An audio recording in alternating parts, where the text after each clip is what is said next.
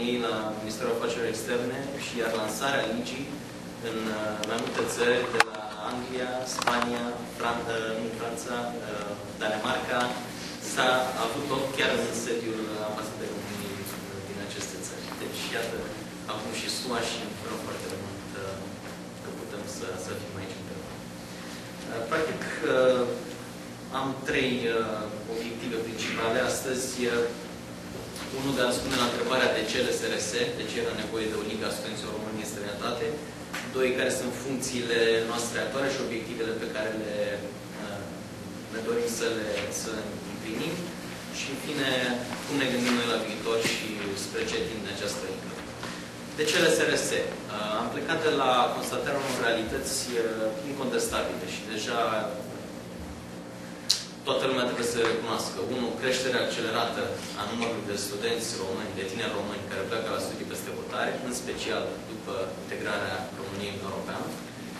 Doi, lipsa lor de reprezentare la nivel global, dar și în România, deși sunt uh, mici asociații studențești în diverse locuri, la Harvard, la Stanford, în America și în alte locuri, nu exista o organizație care să îi reprezinte la nivel general. Uh, trei, lipsa canalelor directe de comunicare. Între aceștia era foarte greu pentru cineva de la Stanford să intre în contact cu cineva de la Oxford și cu cineva de la București. Facem și acest lucru. Și cel mai important aspect este uh, nevoia de a conștientiza valoarea acestei comunități și mai ales identitatea ei proprie, uh, în special în perspectivele întoarcerii în România. Într-adevăr, putem să ajutăm România de oriunde, dar pentru asta trebuie să ne, ne propunem acest obiectiv și uh, încă înainte de acest uh, pas trebuie să înțelegem cine suntem mai bine, cine este această comunitate, ce scopuri ne leagă, ce pregătire ne leagă, ce mentalități diferite avem astăzi. În consecință, astăzi uh, Liga noastră îndeplinește patru funcții principale. 1. Reprezentarea drepturilor și intereselor membrilor noștri și în general tuturor studenților și absolvenților români din străinătate. Concret, asta se traducem principal prin consiliere juridică gratuită voluntarii noștri pro bono uh, dau sfaturi juridice celor care au nevoie de acestea, diverse țări. Doi, uh, promovarea coeziunii între studenții români în străinătate, absolvenții români în străinătate și tinerii din România, prin diverse elemente, așa cum este acesta, așa cum am organizat de 1 decembrie uh, la Arcus în Danemarca expoziție de artă, set de film românesc la Londra, concerte de muzică clasică și așa mai departe. Trei, consiliere pentru tinerii din România un alt obiectiv important al nostru uh, și poate vom fi acuzați că promovăm uh, brain drain-ul, este de a-i ajuta pe tineri din România să obțină educație mai bună. Și, din păcate, într-un fel, uh, astăzi aceste educație mai bună se poate obține peste hotare. Îi ajutăm cu sfaturi, îi punem în contact cu tinerii români care deja au plecat, care sunt acolo, care înțeleg procesul de admitere, care pot să-i ajute să se integreze mai ușor într-o societate foarte diferită, așa cum este, de exemplu, cea americană. Și, în fine, așa cum spuneam, sprijinirea întoarcerii acasă, sau cel puțin sprijinirea celor care doresc să revină cu rezultate, cu, cu resurse concrete. Și o să vă povestesc despre ce este vorba. Important este de menționat că LSRS s-a lansat acum un an și trei luni, în ianuarie 2009, la București. Într-un an și trei luni am acumulat peste 3.000 de membri actualmente. Echipa noastră are peste 100 de voluntari Uh, avem peste 20 de filiale, 21 astăzi. Uh, sunt uh, în fiecare zi sau foarte mulți vizitatori online ai site-urilor noastre. Mai mult decât atât, am devenit o voce distinctă în societatea civilă din România și pe plan internațional. Am luat poziție atunci când, când situația a cerut-o. De exemplu, când era valul de discriminare în Italia, am scris o scrisoare deschisă către domnul prim-ministru Berlusconi și au fost aminte de sute de oameni. De asemenea, în Elveția. Și în ultimul rând am devenit uh, recunoscut oficial ca forul de organizare reprezentativ al studenților uh, români în străinătate printr-un memorandum semnat cu Senatul României, uh, care, din câte știu, este primul act oficial al statului român care recunoaște importanța de strategică a acestei comunități, a tinerilor români pe care să studieze peste hotare. Am desfășurat de asemenea pe parcursul anului 2009 și mai multe premiere foarte importante și de care suntem foarte mândri gala Ligii Studenților Români în Străinătate sau gala Studenților Români în Străinătate a avut loc uh, pe 6 ianuarie anul curent la Marriott în București, în prezența a peste 350 de tineri, membrii SRS. Președintele Senatului a fost acolo, a fost președintele Academiei Române, miniștri, foști miniștri, oameni de cultură și așa mai departe. Un eveniment primul de acest fel care recunoaște excelența academică a studenților români din străinătate. În premier, repet. Uh, un al doilea proiect important a fost desfășurat în vara anului trecut, Caravana a Ligii noastre, în care se bazează pe o idee simplă.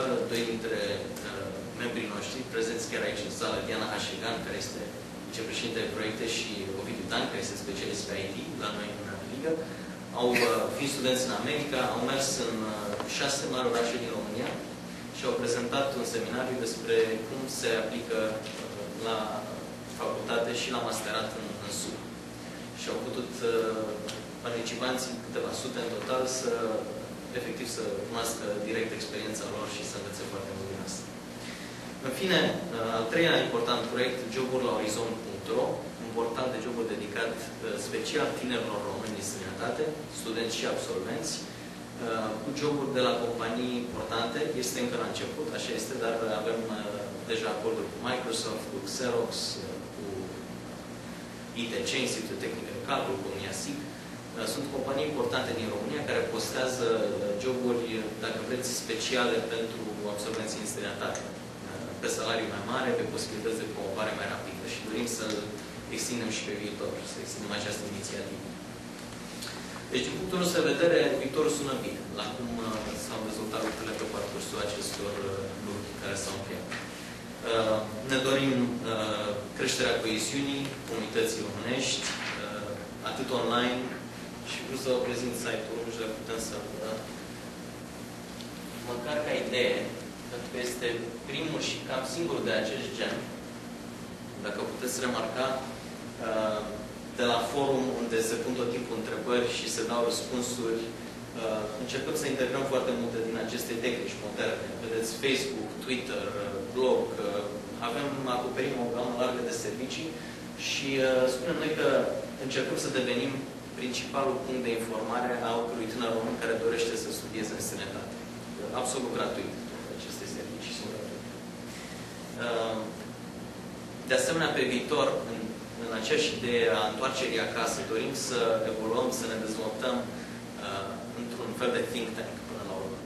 Sunt atâția absolvenți și studenți români cu o specializare foarte bună.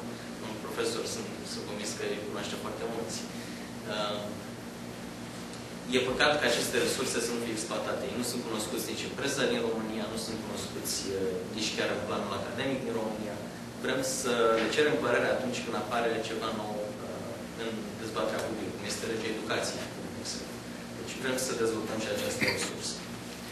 Și apropo de problemele care ne dor, problema echivalării diplomelor, am dezbătut mai în repetate rânduri, încercăm în continuare Scopul nostru este să se echivaleze și diplomele din, uh, din Statele Unite, în primul rând. Am înțeles că diplomele din Europeană acum sunt echivalate printr-un ordine recent al Ministrului. Uh, în încheiere, ce să vă spun, uh, am devenit așa, încet, încet, la lansarea asociației un pic cu o mișcare care se numește Noi Pași Optiști. Am lansat această idee că uh, în 1845, practic, uh, încercau tinerii români să, merge la, să meargă la marile universități din lume, la Paris, la Viena, și apoi, revenind în țară, au, au creat practic miracol. Au pus bazele statului român modern pentru următorii 150 de ani. Uh, sperăm să, să fim demn de exemplul lor. Ei erau doar 100, sau cel mult 100. Noi suntem acum, nu se știe exact, dar în jur de 50 de mii, câte am înțeles nu sunt statistici, uh, măcar 1% dacă reușim să ne întoarcem sau dacă reușim să ajutăm România de oriunde am fi în lume, cred că vom uh, putea să contribuim la dezvoltarea țării noastre. Uh, așadar, ne-am asumat efectiv misiunea lui Nicolae Bălcescu sau descrisă Nicolae Bălcescu cu cuvintele tot ceea ce nu este prin noi, nu va fi pentru noi. Credem foarte mult în asta, este chiar motorul ligii. Uh, și uh, evenimentul de astăzi este, dacă vreți, o, o dovadă că uh, suntem serioși, ne ținem de treabă și uh, eforturile pe care le depunem sperăm să aibă și rezultate aici în SUA și peste tot. Așadar, bun venit de SRS SUA, în familia de SRS. Mulțumim încă o dată întâlnirea noastră și uh, din punct de vedere am asta a fost pentru astăzi.